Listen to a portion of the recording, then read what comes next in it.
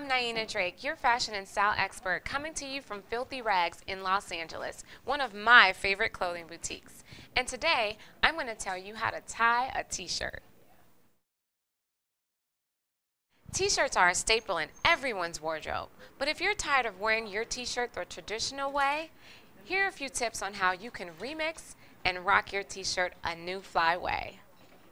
The only tools you may need for this are a pair of scissors and a pencil. For some shirts, you may want to cut it in a certain place and tie it. And then you may need to mark it with a pencil. This way you have a mark on the shirt exactly where you need it and it'll wash right off. The first thing to take into consideration is the amount of fabric the t-shirt already has. It's best to take a t-shirt that has a little extra fabric and is somewhat oversized for you. That way you can tie it and still make it tailored and fit to your body. The first step to tying a t-shirt is to actually put the t-shirt on. You want to make sure it's in the correct position on your body.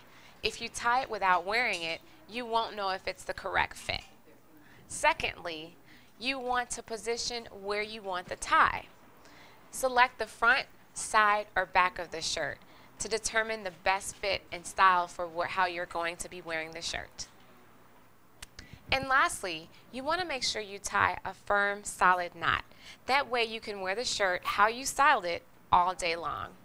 And those are the tips on how to tie a t-shirt. I'm Niena Drake, your fashion and style expert. You can catch me at nienadrake.com.